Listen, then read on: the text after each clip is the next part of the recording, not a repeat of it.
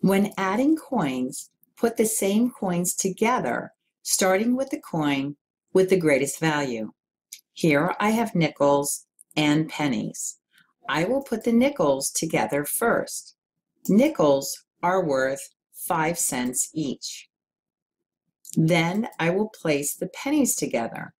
Pennies are worth 1 cent each. Once I have the coins together, I can use skip counting. 5 cents, 10 cents, 15 cents, and 20 cents. Now I will skip count by ones for pennies. 21 cents, 22 cents, and 23 cents. These coins have a total of 23 cents. Let's try some more. First, put the coins together that have the same value, starting with the largest value first. This time, we have dimes. Dimes are worth 10 cents each. Next, we will put the nickels together.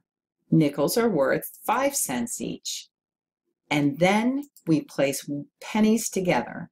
Pennies are worth 1 cent each. We are now ready to use skip counting to add our coins. Counting by tens first. 10 cents, 20 cents, 30 cents. Moving to nickels, adding on 5 cents, 35, and 40 cents. And last, we will add pennies, one penny or one cent each, 41 cents and 42 cents. These coins have a total of 42 cents.